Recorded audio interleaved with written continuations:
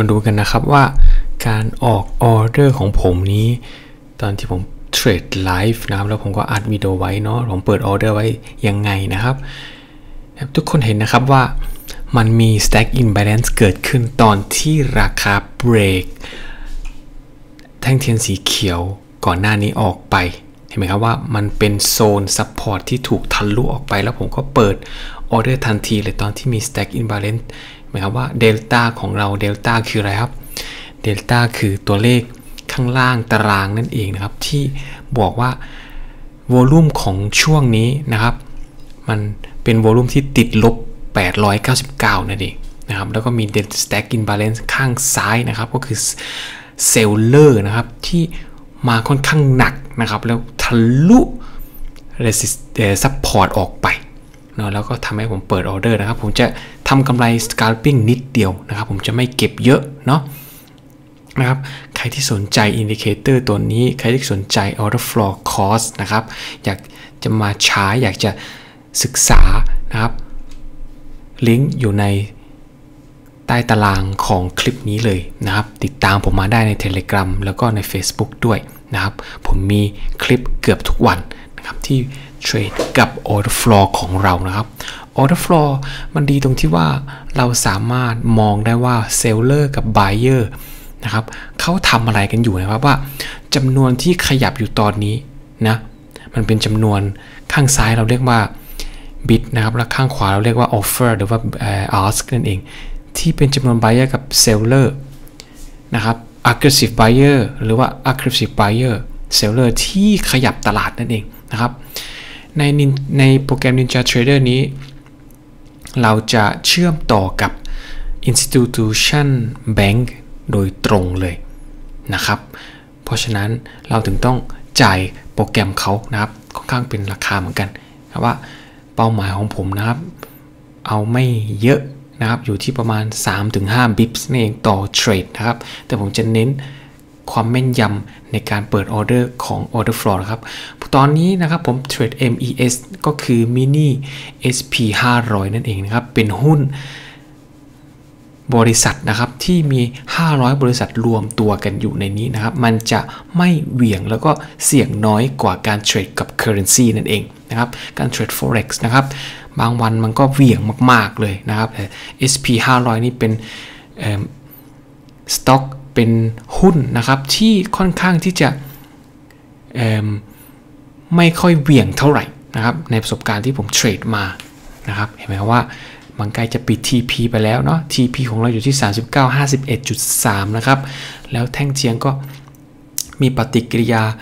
retrace กลับไปนะครับ แล้วก็ยังไม่ถูก hit stop loss ของเราเห็นไหมครับ แล้วก็ใกล้จะถึง stop loss หรือว่า TP ของเราใกล้เข้ามาเรื่อยๆแล้วนะครับ ผมแน่ใจว่าราคาตรงนี้จะลงไปเบรก TP ของเราแน่นอนนะครับ เห็นไหมครับว่า ตัวเลขของเดลต้าก็ติดลบไปอีกแล้วนะครับ แล้วเราก็ปิด TP ของเราไปเรียบร้อยเห็นไหมครับ ตัวอย่างตัวนี้ต่อไปนะครับ เราเปิด order flow เพื่อที่จะเทรด MES ก็คือ SP ในช่วง ตลาด New York Session อย่างเดียวนะครับ เห็นไหมครับว่าผมเปิดออเดอร์ไว้กรณีเดียวกันเลยเหมือนครั้งก่อน แต่ตอนนี้เป็นขาบ่ายนั่นเองนะครับ ผมเปิดออเดอร์ไว้ 30ล็อตนะครับ ก็คือเราได้ราคาค่อนข้างโอเคเนาะแล้วก็เดลต้าของเรานะครับบอกว่า 198 ก็คืออยู่ในบวกอยู่ตอนนี้ แล้วก็ตอนนี้ก็มีการพักตัวย่อตัวลงมาด้วยนะครับ ในกราฟของ SP 500 แต่ อมัน confirm แล้วว่าราคาจะขึ้นไปจริง ๆ นะครับ มันจะมี stack imbalance เกิดขึ้น แล้วก็ในอนาคตเห็นไหมครับว่าเส้นที่ผมวาดไว้ข้างบนนั้นเป็นราคารองรับนั่นเองก็คือ unfinished business นะครับ ที่ราคายังปิดไม่จบนะครับ ผมเอาไปใช้เป็น TP ก็ได้ในอนาคต เรามาจับดาจับตาดูกันนะครับว่า ข้างซ้าย กราฟ XP ของ SP 500 ของเรานะครับ ดูนะ ตอนนี้ยังมีเซลเลอร์ค่อนข้างเยอะอยู่นะครับแปลว่าเดลต้าของเราตอนนี้ยังติดลบ 350 แต่ผมแน่ใจว่าราคาจะขึ้นแน่นอน เพราะว่ามันทะลุ gap ของเราขึ้นมาแล้วแล้วก็ confirm ด้วย stack imbalance ที่ค่อนข้างที่จะหนักเห็นไหมครับว่าช่องของ Delta อยู่ที่ 709 ตรงนี้แหละ คือเป็นการตัดสินเลยครับว่ากราฟจะขึ้นหรือว่ากราฟจะลงนะครับ แล้วเราก็จะเก็บกำไรอยู่ที่ประมาณ 3-5 pips นั่นเองเหมือนที่เราทำอยู่กับทองคำตอนนั้นนะครับมาจับตาดูนะครับผมวิดีโอนี้จะ speed ไปหน่อยนิดนึงเนาะเพื่อนๆจะได้เห็นนะครับว่าการเทรดกับ Ninja Trader นะครับมันค่อนข้างที่จะละเอียดมากเลยนะครับ Ninja Trader เป็นโปรแกรมแพลตฟอร์มนะครับที่ เอาไว้ใช้เทรด future ด้วยกันนะครับ SP ทองคำ future เราสามารถเทรด forex ได้ด้วย แต่เราต้องไปเปิด broker กับ fxcm.com นั่นเอง ก็เชื่อมต่อกันได้เลยนะครับ โปรแกรมตัวนี้นะครับ เราอออยู่ในคอร์สแล้วนะครับ ใครที่สนใจนะครับ วันที่ 31 นี้มีคอร์สแล้วครับ แล้วก็มีคอร์สทุกๆ สัปดาห์เลยนะครับ ถ้าใครยัง ไม่แน่ใจว่าจะลงคอร์สจริงหรือเปล่านะครับ ผมก็นะครับว่าเราก็ปิดออเดอร์ไปที่ 32 จุดนั่นเองนะครับ ตัวอย่างต่อไปนะ ดูนะครับว่า ราคาพักตัวแล้วก็เหมือนกับว่าจะเบรกเอ่อ lower low ของเราลงไปนะครับ จะเบรก lower low ลงได้ไหมนะครับ stack imbalance สังเกตดีๆนะครับ เกิดขึ้นแล้วเห็นไหมครับ delta ติดลบ 350 เนาะ stack imbalance เกิดขึ้น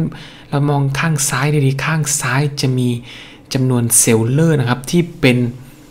สีแดงเกิดขึ้นนั่นนะครับ เราเรียกมันว่า stack imbalance นะครับ stack imbalance จะเป็นจำนวน seller หรือว่า buyer ที่